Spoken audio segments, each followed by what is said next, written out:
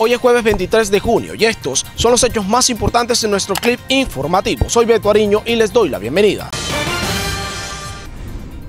Cuando pretendía cometer un hurto a un huésped de un hotel en Valledupar, un ladrón fue abatido por su víctima, quien resultó ser un uniformado de la policía que se encuentra aquí en la capital del Cesar como refuerzo para los Juegos Bolivarianos. Se trata de Jader José de la Hoz Castelar, quien tenía permiso de 72 horas de la cárcel de Acacias Meta y salió el día 13 de junio del 2022 y debía presentarse el 16 de junio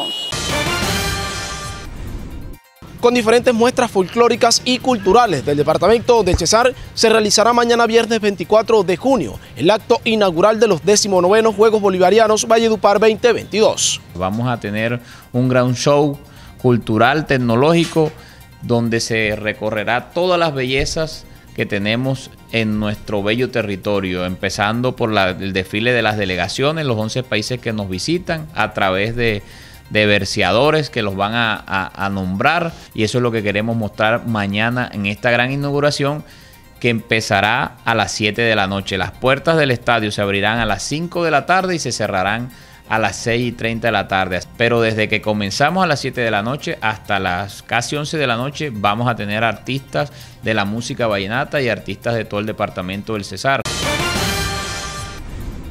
de dos impactos con arma de fuego fue asesinado un diario cuando se encontraba jugando justo aquí en este lugar que ven al fondo ubicado en el barrio Villa Rosario de Valledupar, momento en el que fue abordado por dos sujetos quienes sin mediar palabras le dispararon hasta cegarle la vida. La víctima fue identificada como Leonardo Contreras Mejía, de 31 años, quien de acuerdo a la policía registra una herida con arma de fuego con orificio de entrada y salida a la altura de la cabeza y una en la región pectoral, lado izquierdo. Contreras Mejía deja dos hijos menores de edad. El documental Máquina de Guerra, escrito y dirigido por la periodista vallenata Katia Ospino, fue inscrito al Festival de Cine de Derechos Humanos en Budapest, Hungría. Es un documental que se llama Máquina de Guerra, el carnicero de los Montes de María. Un documental que acaba de ser aceptado en uno de los festivales de cine más importantes del mundo, Festival de Cine de Hungría y muy pronto en el Festival de Cine de Ginebra, Suiza. Pero eso no es lo más importante. Lo más importante es que es un documental que ustedes van a poder disfrutar en las plataformas de televisión más importantes del mundo. En Netflix va a ser reproducido, en Amazon Prime en HBO. Los habitantes del barrio Sicarare se encuentran alarmados ante la creciente ola de inseguridad que se viene presentando en los últimos meses en el sector, atribuido a un supuesto grupo delictivo conformado al parecer por menores de edad que se hacen llamar los iguanos. Primeramente no le llamaban los iguanos sino los traquetos y ahora se han venido armando en, motos que primeramente andaban era de a pies y en verdad ahora andan en moto, dos en moto y en cada moto, mínimo 10 motos andan merodeando todo el barrio y eh, consumiendo estupefacientes, las niñas, provocando a las niñas, faltando el respeto, tanto en el Parque Blanco como en el Parque Rojo y en la Bombonera. Y como si fuera el patio de su casa, ladrones ingresaron por segunda vez a la escuela de conducción ubicada en el barrio La Granja de Valledupar y se llevaron dinero en efectivo y celulares.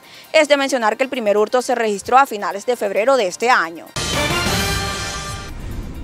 Hoy se realizó el lanzamiento de Valleduparadora. Acá les contamos sobre esta jornada de adoración y alabanza a Dios. Es el preámbulo de, lo que nos espera para el 2 de julio en la Plaza Alfonso López, que vamos a estar desde las 8 de la mañana hasta las 8 de la noche.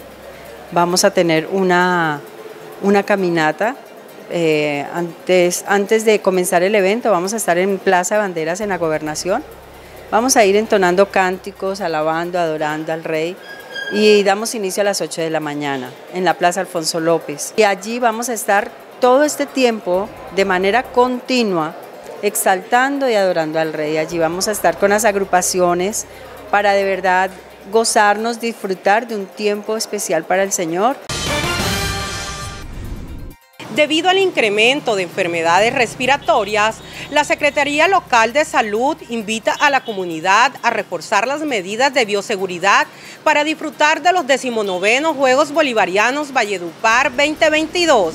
Utilicemos bien el tapaboca, reforcemos la vacunación, utilicemos el distanciamiento y si encontramos a alguien que tiene sintomatología respiratoria, no dudemos acudir a un médico.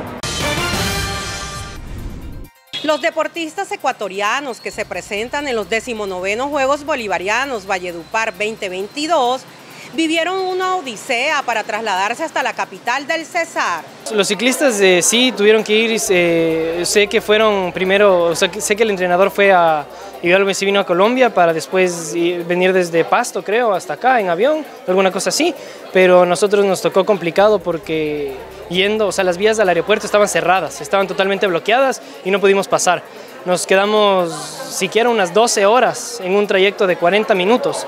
Eh, por, culpa de los bloqueos en las vías. Entonces eh, estuvo cansado, no, hubo, hubo un momento en el que ya no sabíamos si íbamos a poder venir.